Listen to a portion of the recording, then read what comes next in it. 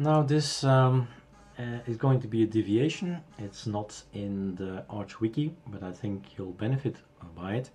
And that's the following thing. We are on our future system, and the future system has a pacman.conf file. So nano etc pacman.conf.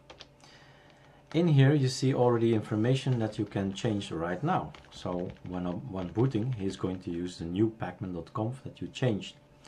There are some things that we've changed um, in uh, ArcoLinux. I think it's this one, that one, and for verbose list we've done, not done that, done that one. It's too much information. But what we're here for is actually to activate the multilib. So multilib is Skype, is Steam, is all that kind of stuff.